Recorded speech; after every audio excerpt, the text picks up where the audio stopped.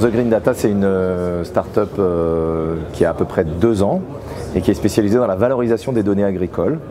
Donc en fait, on développe des applications basées sur les données agricoles et qui permettent d'optimiser les décisions qui sont prises euh, par les agriculteurs, par les coopératives, par les banques, etc., par les assureurs.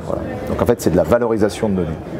On va par exemple sur la base de données euh, de population d'élevage, on va développer des diagnostics de performance intelligents. On va pouvoir faire des indicateurs prédictifs pour évaluer les risques. On va pouvoir, euh, au niveau des coopératives, optimiser les, ressources logistiques. Donc vous voyez, il y a beaucoup de types d'applications différentes qui peuvent soit concerner directement l'agriculteur, dans sa, vie quotidienne, soit, euh, la chaîne agroalimentaire pour réduire le gaspillage, pour euh, maîtriser les risques, etc. Alors la data agricole, déjà c'est un horrible mot, puisqu'on ne sait pas si on doit dire le data ou la data, en plus c'est un mot latin, donc on ne comprend pas bien. En, gros, euh, c'est le constat qu'il y a beaucoup de données qui sont fabriquées par des outils numériques, que ce soit des capteurs qui vont produire des données de manière automatisée ou bien des applications qui vont collecter des données dans les exploitations ou bien des systèmes d'information qui vont brasser des données. Bref, il y a des données partout. Et dans un monde qui devient de plus en plus interconnecté et qui produit de plus en plus de données, on se pose raisonnablement la question de ce qu'on peut faire de ces données et de la valeur qu'on peut créer de ces données.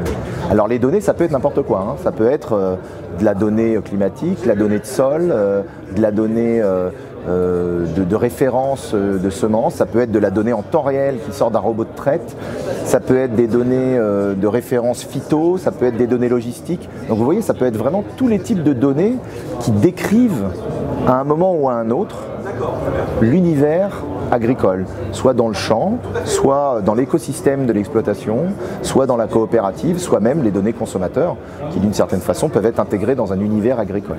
Tout le monde pense et tout le monde croit, et je pense à raison, que la valeur qui sera créée dans l'industrie agricole dans les 10 prochaines années, 10-15 prochaines années, sera essentiellement basée sur des outils numériques intelligents, sur des outils qui vont travailler les données. On va mieux prédire ce qui va se passer demain, on va prendre des meilleures décisions, on va optimiser nos décisions. Et pour, faire tout ça, il faut des données. Donc l'enjeu est de savoir qui peut avoir accès à ces données, qui va agréger ces données, pour qui, au profit de qui, etc.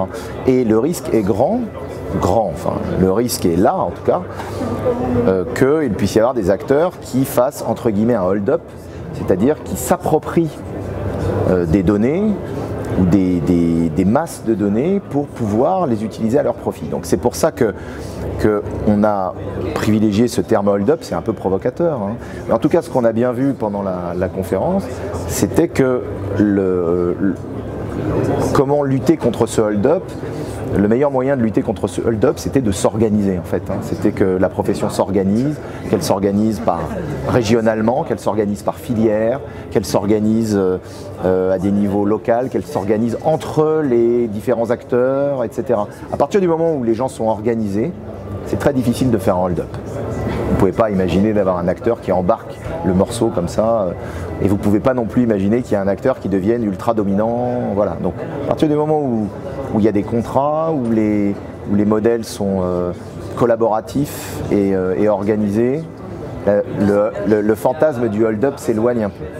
Bah, l'agriculteur, normalement, il, à la fin, il en tire le bénéfice. Donc là encore, pour que la, profession agricole évolue dans les 5 à 10 prochaines années au bénéfice de l'agriculteur, qu'est-ce que ça veut dire au bénéfice de l'agriculteur? Ça veut dire qu'il faut que la profession soit plus intéressante, qu'elle soit plus valorisée, qu'elle soit moins risquée et euh, qu'elle soit plus rentable. Enfin, après, chacun voit dans le métier euh, agricole un peu ce qu'il y trouve. Il y a autant d'agriculteurs que d'exploitations agricoles. Donc les uns vont pouvoir avoir envie d'avoir plus de temps libre et donc vont privilégier l'automatisation. Les autres vont vouloir être beaucoup plus rentables et donc privilégier euh, d'autres modes de vie. J'ai envie de dire que on ne va pas privilégier tel ou tel mode de vie, vous. Mais ce qui est clair, c'est que la donnée va pouvoir permettre de mieux maîtriser son destin, va pouvoir permettre de mieux anticiper ses risques et donc de reprendre le contrôle, en fait, de mieux piloter ces exploitations et même de piloter les filières. Moi, je suis convaincu, par exemple, à titre personnel, que d'ici 10-15 ans, il n'y aura plus de crise agricole à cause de la data.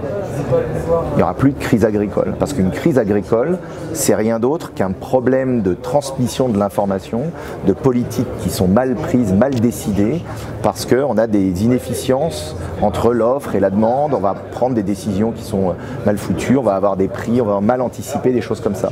Or, que ce soit la crise du lait, que ce soit la crise des œufs, que ce soit la crise, euh, euh, tous les types de crises, vous pouvez absolument les anticiper.